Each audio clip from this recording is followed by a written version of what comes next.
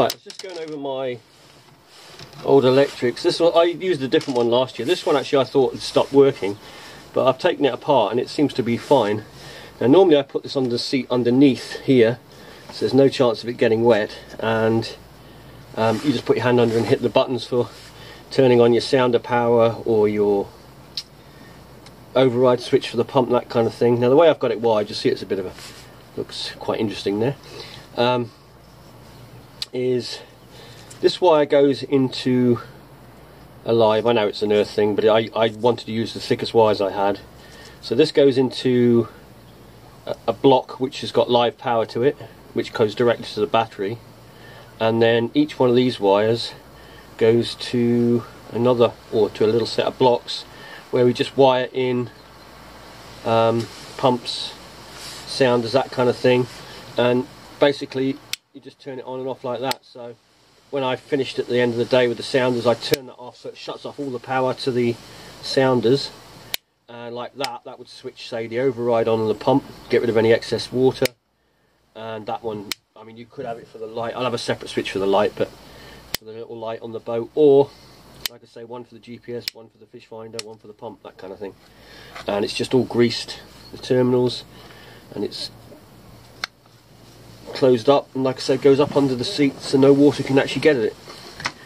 And uh, like I say, when your hand goes under, if your hand's wet or damp, uh, if you get any moisture on the switches, obviously it comes down.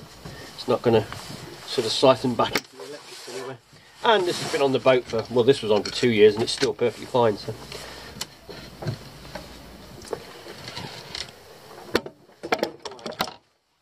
Question is, whereabouts am I going to put it? Normally I put it sort of just up in here somewhere.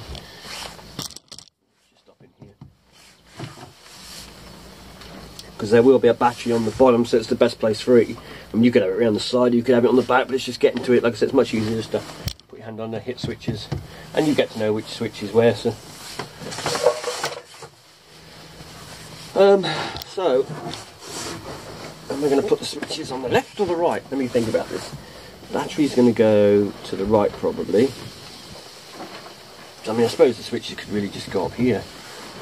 As long as everything's long enough to reach everything. That's plenty long enough, that's long enough. The pump is going to go to the right anyway.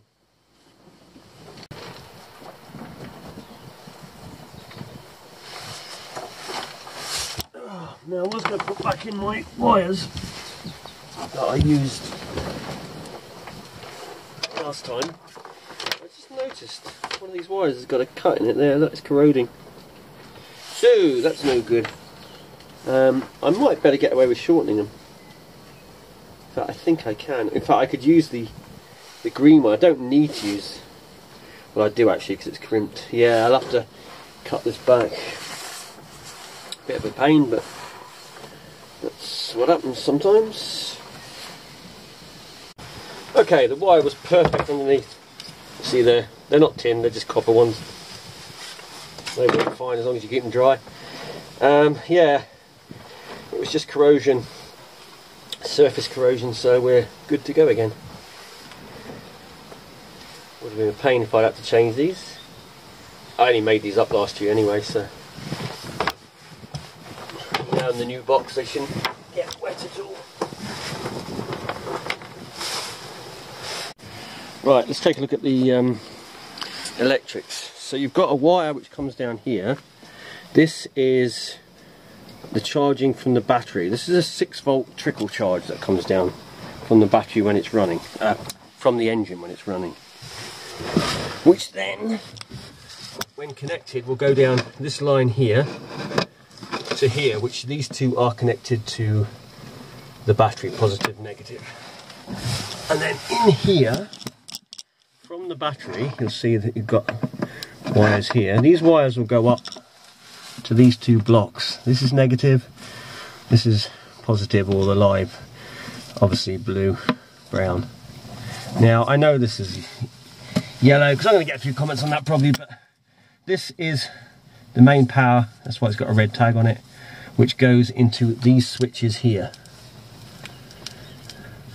and these switches all come out one line for each switch three of them here which are all going to be live and basically this is the live power that goes to pumps, lights, sounders, that kind of thing. Three of them. I've got the GPS, the sounder, uh, the override for the the uh, bilge pump, and I'll have a separate switch for the deck light. It won't be on here, just be a small switch in the corner.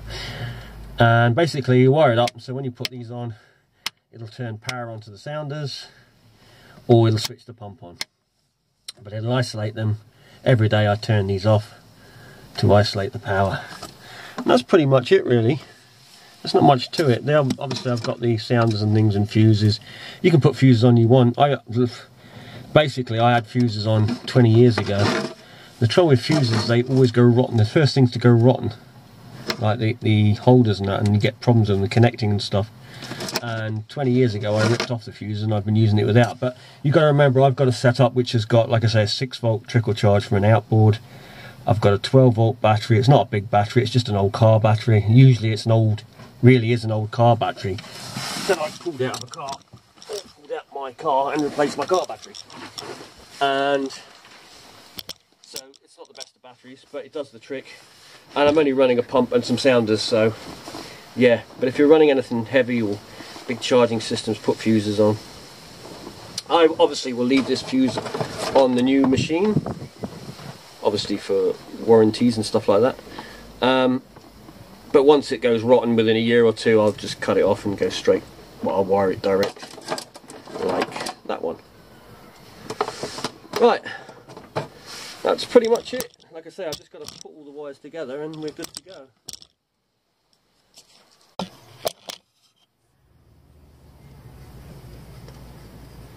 Like I say, I'm just patching the bare fiberglass areas then we'll paint over it all with a bit of sand in the paint. This one I've got to do, but I've run out of this.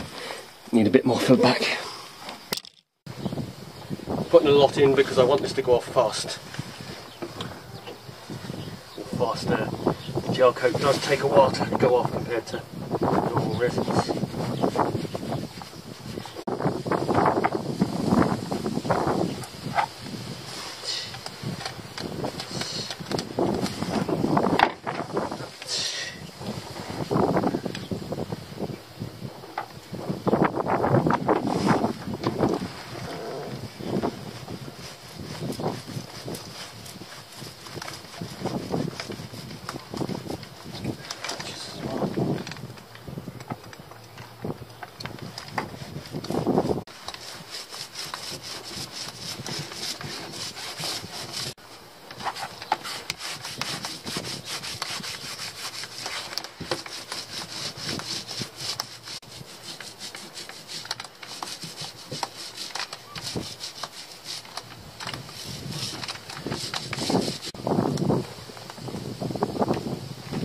So what's the secret ingredient? A little bit of sand.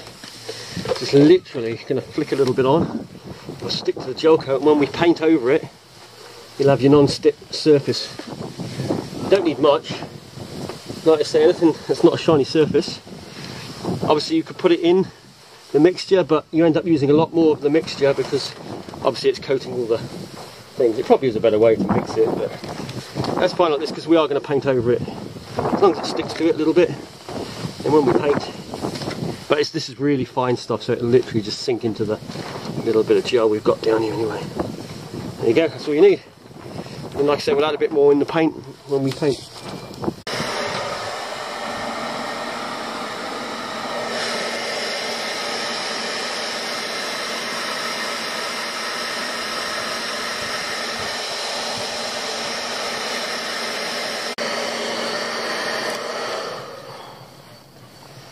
this is um, this is just wax.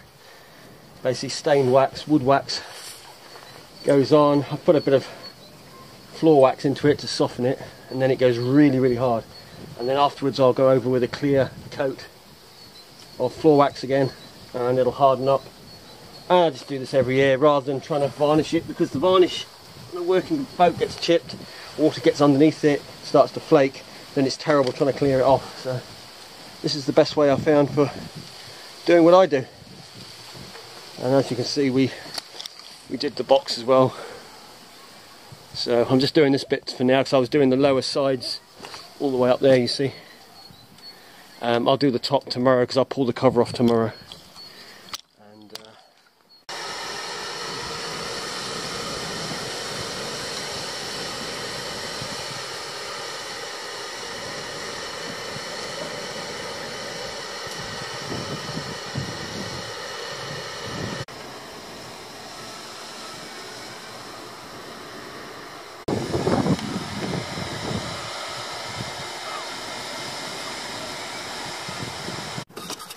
There you go, all's done.